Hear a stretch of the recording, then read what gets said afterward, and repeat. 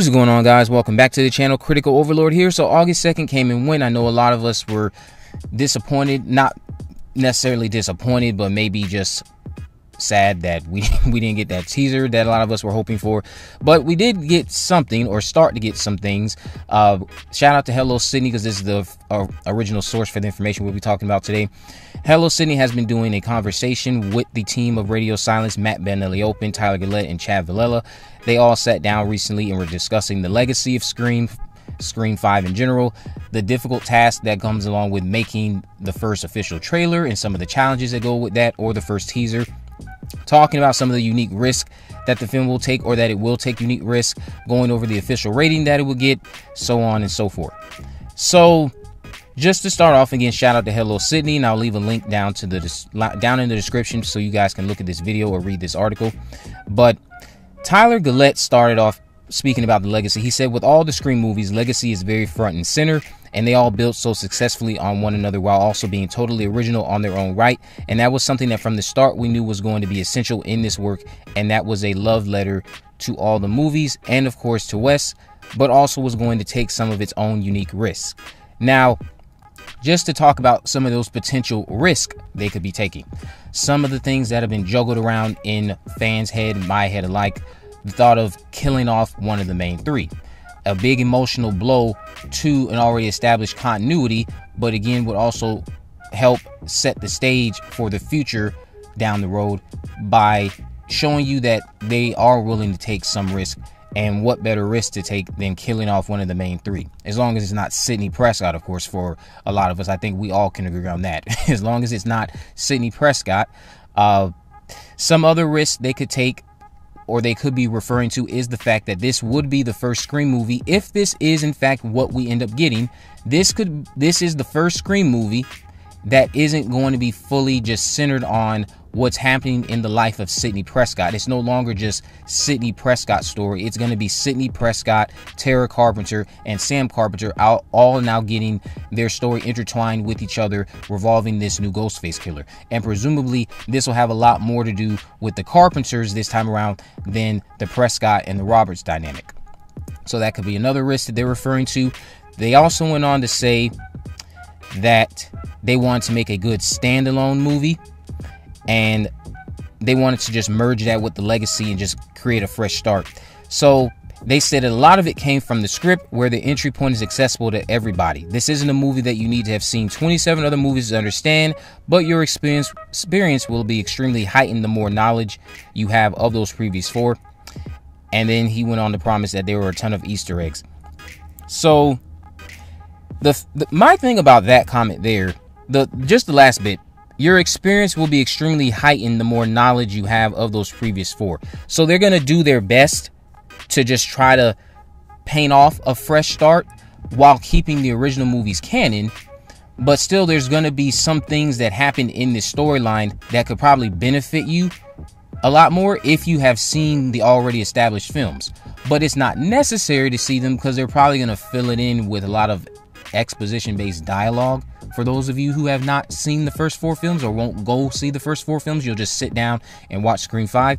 So it's basically saying it won't be heavily reliant on you needing to go watch the first four movies. Me personally, just like they said, I would still go watch them. So they also go on to say that the Scream 5 will continue another another tradition that all the Scream films have had, the self-aware commentary and talking about the current state of horror.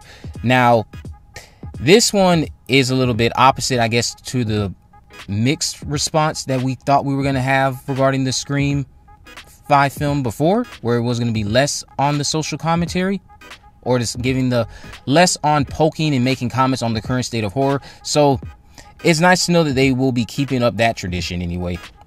So the self referential and making comments on the current state of horror, that could be talking about how horror is now just not under this one path of just like slashers and that's just it. Horror is now slashers. You're getting a lot more of the psychological stuff. Not that the psychological stuff didn't exist back then, but back in like the late 70s, 80s, 90s, we know that it was dominated by three big slashers Michael, Jason, Freddy. But now these days, you're getting slashers mixed in with all the psychological, mixed in with the supernatural. And again, supernatural and psychological, they were a thing back in the day with with other movies like uh, Rosemary's Baby and all these other things, but that were just in that realm of supernatural and psychological, like The Blob, for instance. But the big dominators were the slasher films. So now these days you have just horror getting a lot more mainstream recognition and all of these different subgenres are being more appreciated and it's not just slasher slasher slasher. You're getting so many different types of different horror movies to to experience. So their whole social commentary could be on that. It could be on also how all of the that could also lend to maybe why Ghostface could potentially ditch his buck knife at some point during the film. Just throwing that out there. Uh, it could also be them making comments on how a lot of the movies now are retconning their already established continuity and them just being self-aware of the fact that they're not doing that so maybe throwing some jabs playful jabs that being at the halloween franchise and many other series that have been doing that recently they also went on to talk about the challenge of creating their trailer. They said that's going to be the challenge with the trailer. There's a lot in this movie that can be spoiled really easily. We're so curious to see how the marketing department is going to thread the needle because it's a very narrow one. And that's what Gillett had to say. So I already said what I should think should happen in a first in a first like teaser. It should be something light.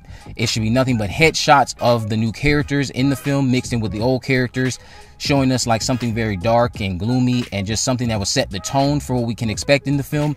And then all the while you have Roger L. Jackson giving a voiceover back as Ghostface to announce that he's coming back to haunt the town of Woodsboro. Just have Ghostface basically giving a commentary over this teaser or you could just do headshots, have have little wording come up on the screen talking about how Scream redefined the genre in the late 90s, so on and so forth. And now the franchise that did that is back. They also went on to make comments about the fact that the film will indeed receive a hard R rating.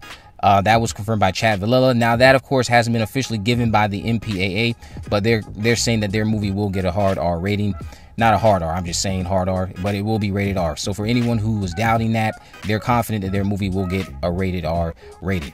So let me know what you guys think about this down in the comment section below. I'll leave a link to the video down in the description for Hello Sidney. Again, shout out to you for collecting this information. They have other exciting things coming out soon this week. If you haven't, make sure you subscribe, turn on post notification to miss a video. In the description, I have links to my social media accounts, my Facebook, Twitter, and Instagram. You can message me there, of course. Let me see any movies, news, or reviews you'd like me to cover in the future. All that in mind, guys, I will see you in the next video.